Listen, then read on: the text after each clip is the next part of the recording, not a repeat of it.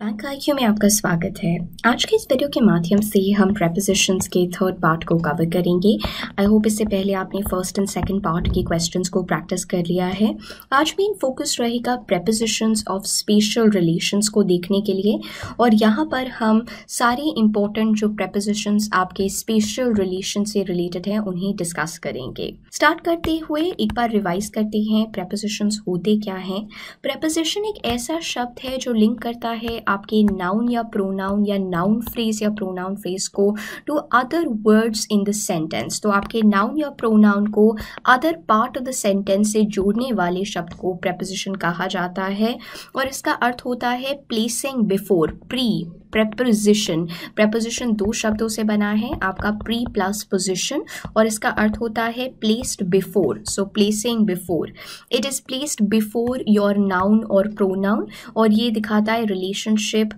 of that particular noun और pronoun with some other words in the sentence अब for example the coach was happy with Vishwanath एक तो आपको याद रखना है that you are happy with someone right अगर कोई व्यक्ति है so the coach was happy with Vishwanath because he played well my parents are proud of me और proud of someone my father owns a house at G K in Delhi मेरे पिता का घर है एट जो locality है छोटी वाली, उसके लिए एट इन डेली बड़े वाले संदर्भ में इन आ जाएगा शी स्टेज नियर जी के she was was to her parents so you grateful to someone so ये चीज़ें तो आपको विद ऑफ़ एंड टू के बारे में याद ही रखनी है।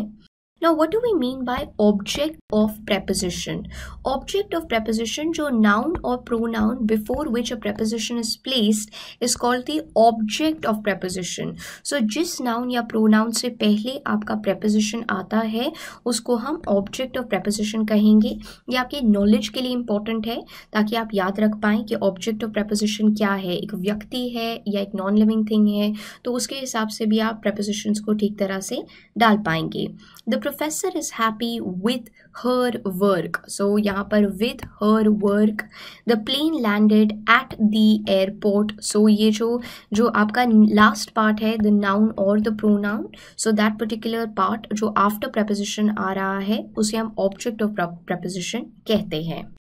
अब हमारे पास कई प्रकार के प्रपोजिशंस होते हैं, जैसे कि prepositions of spatial relationship preposition of time preposition of direction लेकिन आज के इस वीडियो में हमारा मेन फोकस रहेगा to cover prepositions of spatial relationship that means ऐसे प्रपोजिशंस जो कि रेफर करते हैं प्लेस को पोजिशन को, उन्हें हम प्रपोजिशन ऑफ़ स्पेशल रिलेशनशिप कहते हैं, जैसे कि on inside up up outside, next to, behind, in front of, at the back of, near, over, opposite at the corner down below under तो इस तरह के जो आपके प्रपोजिशंस हैं which are telling you either about position और they are telling you about place उनके लिए हम प्रपोजिशंस उन्हें हम कहते हैं प्रपोजिशंस ऑफ़ स्पेशल रिलेशन या आपको आपके पोजिशन और प्लेस के बारे में और बताते हैं। Now, we are going to be looking at some important examples, prepositions of spatial relationships के एट हो गया। Vishwanath stopped at the end of the queue queue के आखिर में ही stopped the watchman is at the door watchman कहाँ पर है? Is at the door I will wait for you at the mall तो यहाँ पर हम कुछ एग्जाम्पल्स देख रहे हैं, जहाँ पर हम preposition of spatial location act spatial relationship place और पोजिशन को जो बताते हैं, वहाँ पर एट को देख रहे हैं। अंडर और over she sat under the tree the shade was over the balcony ये एक एग्ज़ाम्पल हो गया. So under over so your she sat under the tree tree के नीचे she sat the shade was over the balcony ये जो shade है and ये अगर बैल्कनी है so the shade was over the balcony in in और on there is some Coke in the jug कुछ कोक रह गई है inside the jug there are many illustration in this book the note was pasted on on surface के ऊपर on on the door the painting is on the wall ये सारे examples के through भी आप याद रख सकते हैं। किस प्रकार से हम इन प्रपोजिशंस का प्रयोग कर रहे हैं। बिसाइड हो गया the dustbin is beside the round table round table के एकदम बिसाइड में ही डस्टबिन है। Vishwanath stood beside his mother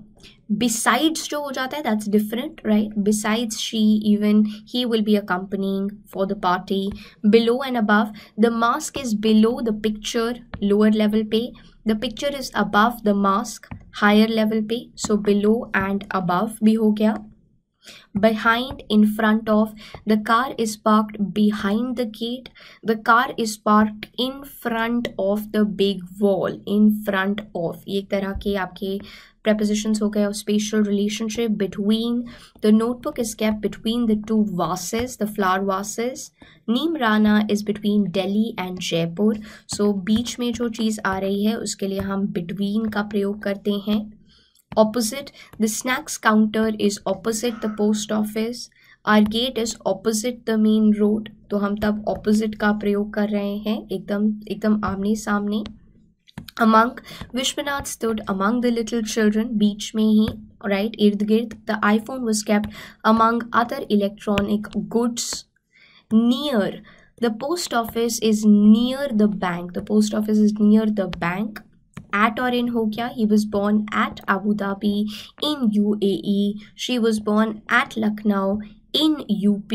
So, at show hai it is showing a particular point in space, whereas in is showing a region. The shopkeeper was in the shop. So, यहाँ पर in का प्रयोग हो रहा है एक, हम लोग सेट को फाइव इंपॉर्टेंट प्रैक्टिस सेट्स को प्रैक्टिस करते हैं प्रपोजिशंस के संदर्भ में my mother took leave of seven days ना यहाँ पर रूल क्या है आप लीव लेते हैं for a particular period of time आप ऑफ़ नहीं लेते हैं you take leave for a particular period of time so my mother took leave for seven days और my mother took leave for eight days so इस तरह से यहाँ पर ऑफ़ की जगह फॉर आएगा। I think that my plans are different than yours now यहाँ पर आपको याद रखना है कि रूल है with different we use from different from so हम लोग डिफरेंट के साथ क्या प्रयोग करेंगे? From I think that my plans are different from yours from yours than yours नहीं होगा। One must always pay with his card one must always you always pay by हम लोग हमेशा पे क्या करते हैं? We pay by one must always pay by his card one must always pay by his और her card right और one must pay by one's card right so लेकिन by आएगा विद नहीं आएगा, ये चीज़ हमें ध्यान रखनी है। I was responsible of making all the arrangements for the party. You're always responsible for something. आप हमेशा responsible होते हैं for something. So I was responsible for making all the arrangements for the party. ये rule होगा आप responsible होते हैं for something. On the time of the closing ceremony, the superstar had come. On the time गलत हो जाएगा at the time क्योंकि specific time के साथ हम एट का प्रयोग करते हैं so at the time of closing ceremony the superstar had come तो यहाँ पर हम लोगों ने देखा कैसे leave you take leave for a particular point in time you are different than की जगह you are different from someone you always pay by debit or credit card you are responsible for something right and यहाँ पर at का प्रयोग होगा क्योंकि यहाँ पर हम लोग ये talking about some specific time period so आज हम लोगों ने preposition of spatial relation के कुछ examples को cover किया और साथ में five practice set prepositions के cover किए अगर आपको कोई भी doubt है तो आप उसे comment section में mention कर सकते हैं आप मुझसे Instagram पे नीचा रहेजा के नाम से जुड़ सकते हैं